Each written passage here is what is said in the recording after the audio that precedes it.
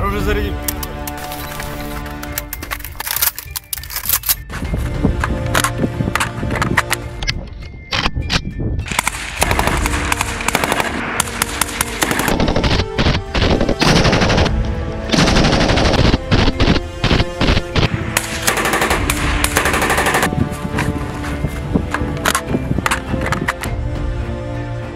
Mikhail Kalashnikov inventó y diseñó el legendario fusil de asalto Avtomat Kalashnikova modelo 1947, o bien AK-47,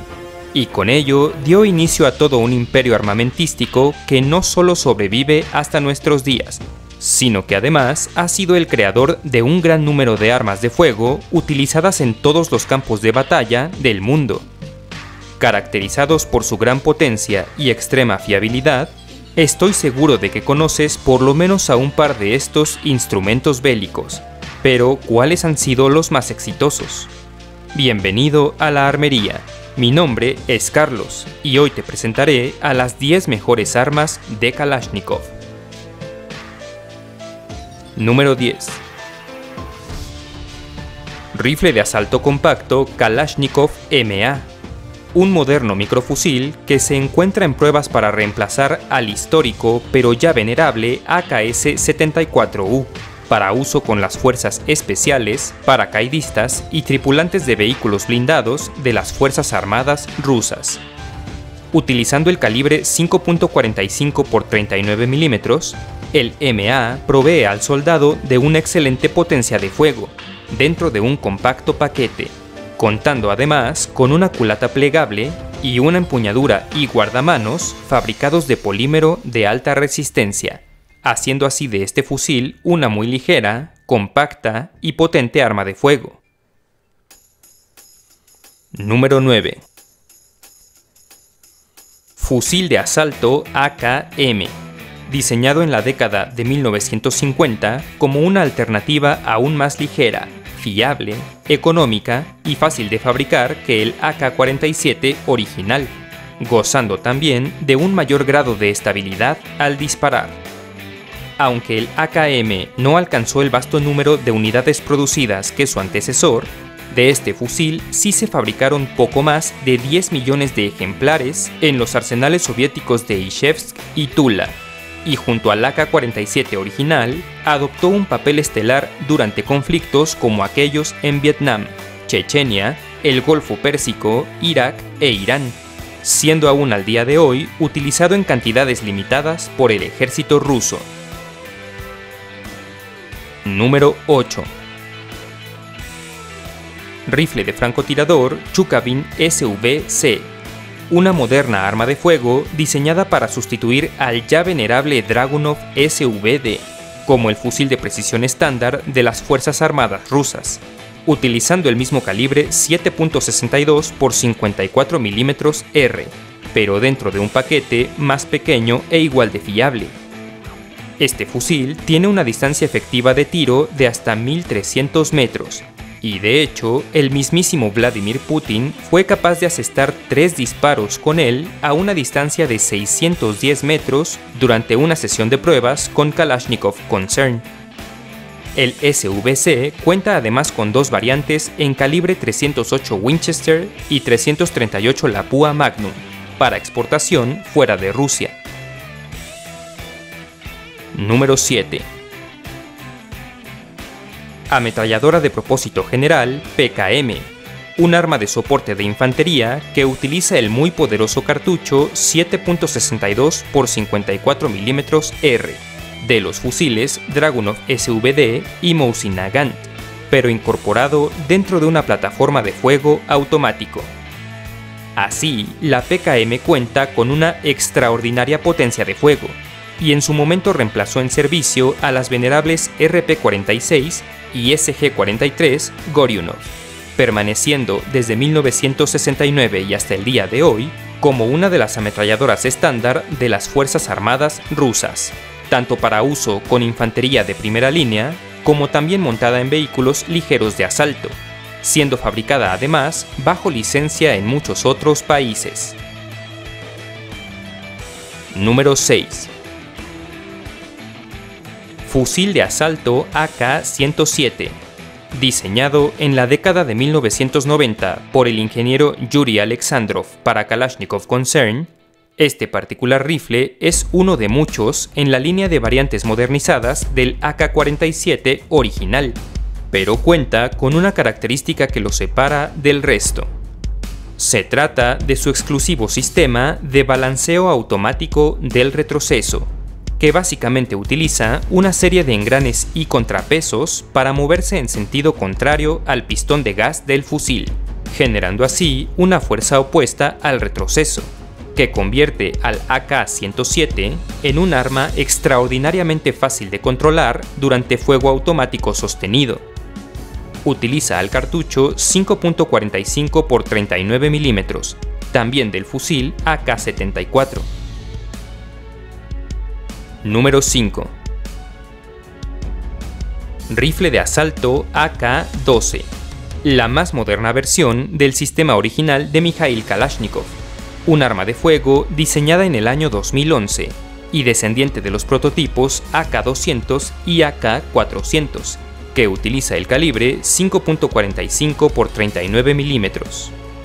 Este fusil fue aceptado en servicio por las Fuerzas Armadas rusas en el 2018 y gradualmente reemplazará al AK-74 y sus variantes como el arma estándar de infantería de estas, contando también con una versión de tipo carabina denominada AK-12K, una variante en calibre 7.62 x 39 mm de nombre AK-15, una en la forma de la ametralladora ligera RPK-16 y otra más en calibre 7.62 x 51 mm OTAN llamada AK-308 para exportación a otras naciones. Entre otras características, el AK-12 cuenta con una empuñadura, guardamanos, cargador y culata ajustable fabricados de polímero de alta resistencia, otorgándole un notorio grado de ligereza al fusil, sin comprometer su fiabilidad, así como dos rieles estándar de tipo Picatinny para el montaje de cualquier tipo de accesorio moderno. Número 4 ametralladora ligera RPK, una potente arma de fuego de calibre 7.62 x 39 mm, que entró en servicio con las Fuerzas Armadas Soviéticas en 1961, como un reemplazo más económico y fiable de la entonces estándar Dektiarev RPD, manteniendo de esta solo el diseño de la culata, que era bastante popular entre los soldados. Básicamente, la RPK es un AK-47, con el cañón alargado y reforzado, y equipada también con un bípode, para lograr un mucho mayor grado de control durante fuego automático sostenido, en conjunto con su cargador de tambor de 75 cartuchos. Así, la RPK ha sido durante décadas la ametralladora ligera más utilizada por las Fuerzas Armadas soviéticas y rusas gozando del excelente grado de fiabilidad característico de esta familia de armas de fuego, encontrándose en uso dentro de su país de origen hasta el día de hoy. Número 3.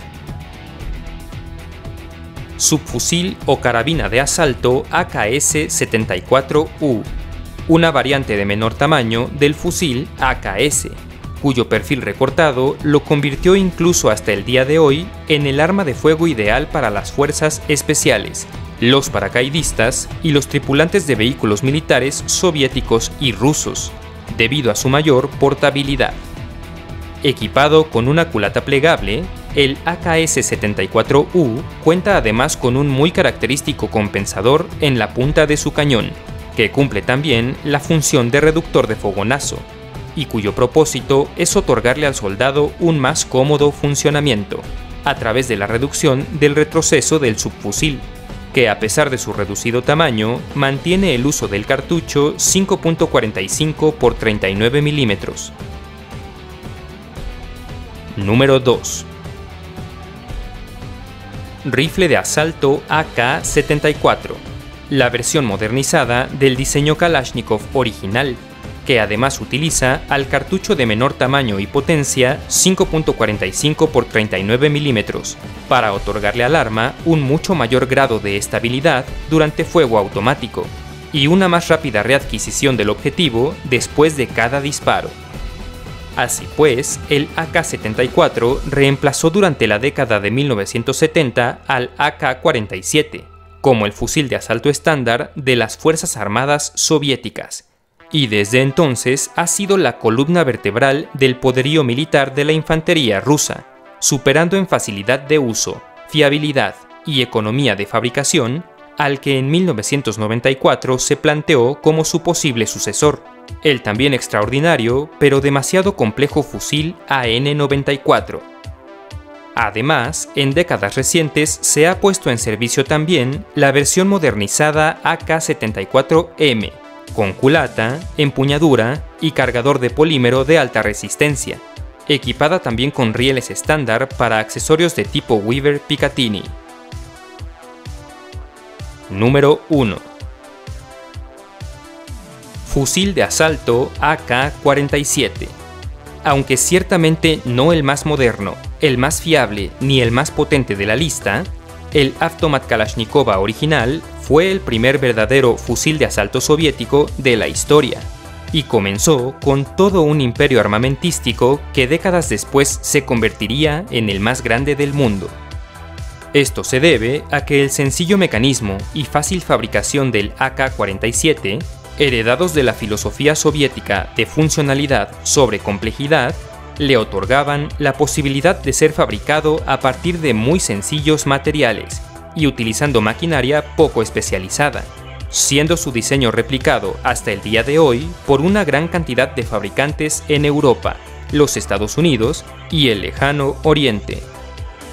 Fue también el primer rifle de asalto en incorporar al cartucho 7.62 x 39 mm, cuya potencia, en conjunto con la alta fiabilidad y asequibilidad del arma, lo convirtieron no solo en el diseño más exitoso de Kalashnikov, sino también en el más ampliamente adoptado del mundo. Si el video te gustó, te agradezco me dejes tu like y tu suscripción si aún no lo has hecho, Suscríbete a la armería para no perderte ninguno de mis videos y únete a mis redes Facebook, Twitter e Instagram para estar en contacto. Los links están en la descripción. Muchas gracias y hasta la próxima.